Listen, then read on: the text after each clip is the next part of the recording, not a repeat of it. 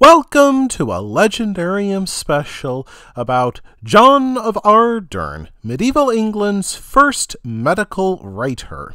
John of Arderne came into the world during the year 1307 on the Arderne estates in Newark, England. Relatively little is known of his early life, save that he trained as a surgeon.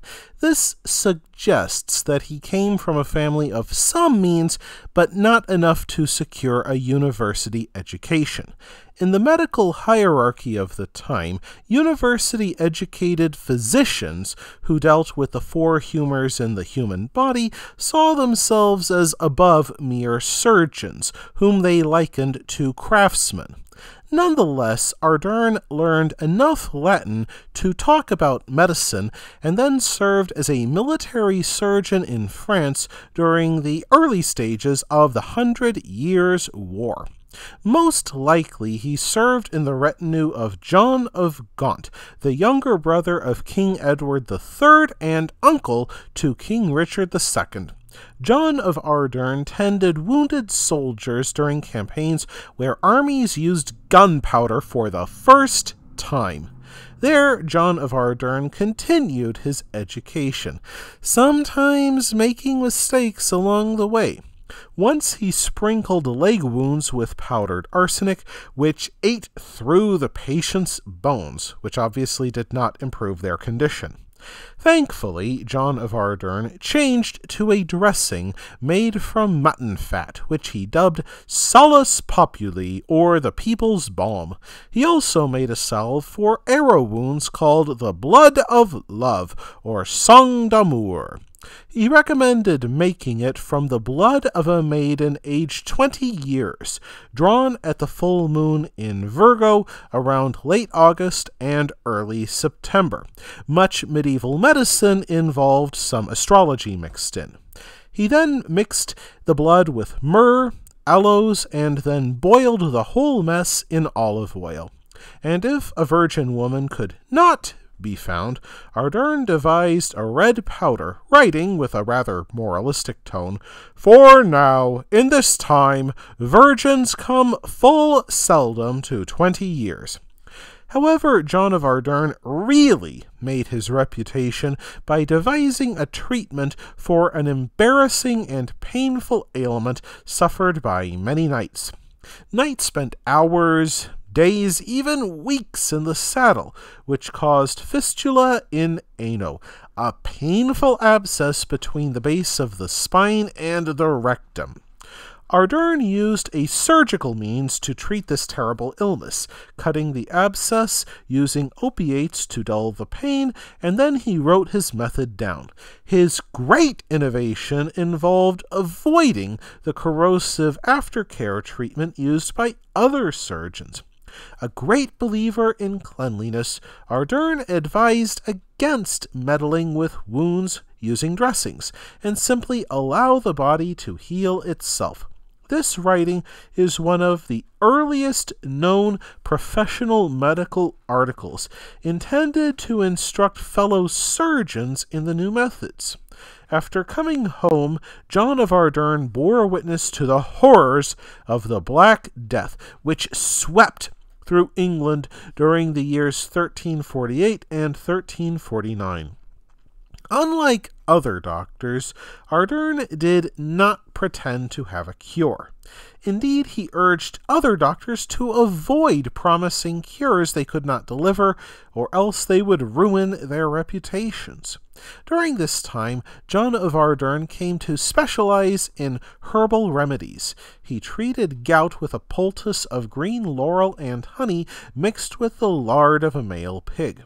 Once John of Arderne claimed to have cured a gouty abbot overnight with a single application.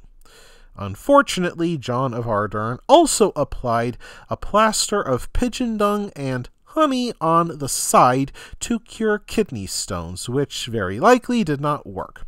To cure hangovers suffered by guests who overindulged in wine during the 1352 wedding of Prince Lionel, he devised an astrological charm. Some of these cures might sound outlandish to modern ears, but the sickly men of the kingdom sought him out. Indeed, the astrological charm in 1352 worked so well, supposedly, that John of Arderne also used it to treat epilepsy.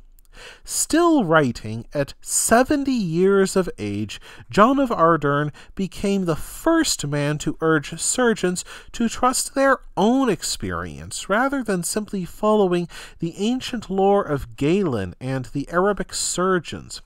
In these pages, John of Arderne advised his fellow doctors on bedside manners. He urged them to tell funny stories, to avoid whispering with relatives in corners for fear of causing patients anxiety, and to avoid becoming too familiar with ladies of the house. Subjects in his writings include herbs and their uses, eye problems, kidney diseases, hemorrhoids, phantom pregnancies, and gout, along with much else. A great many recipes and charms are scattered throughout Arderne's books. His process for distilling juniper oil involves placing two earthenware pots on top of one another. The lower pot is buried in the ground, and small sticks of juniper are placed in the top pot.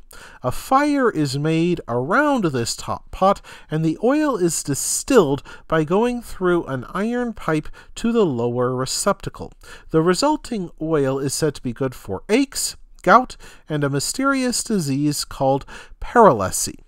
His best known book, the Practica Chirurgiae, or Practical Surgery, formed the basis of surgical instruction in late medieval medical schools.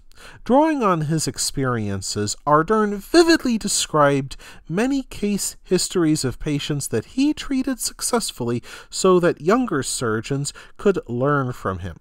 We do not know for certain when John of Arderne died, save that he retired from medicine and life sometime after 1373.